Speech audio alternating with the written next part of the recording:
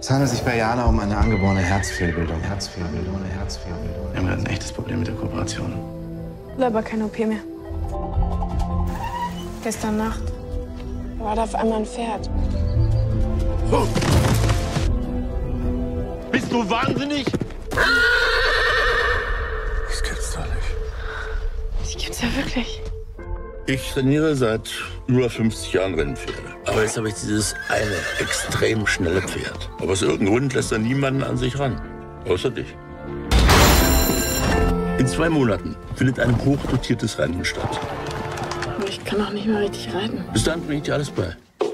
Total bescheuert aus. Das ist ja keine Modenschau. Spinnst du, das ist viel zu gefährlich. Noch ein Herzblock überlebst du nicht. Schwan. Auf dem Pferdehof. Ich habe einfach einen Job, wie alle anderen auch. Du bist aber nicht wie alle anderen. Jana! Jana? Das war schnell. Du entscheidest, ob ich lebe oder sterbe? Du kannst überhaupt nicht entscheiden, was das Richtige für dich ist. Willst du das wirklich durchziehen, was? Da ist dieses verrückte Pferd unter mir mit einem riesigen, gesunden Herzen, das nur für mich schlägt. Du bist der mutigste Mensch, den ich kenne.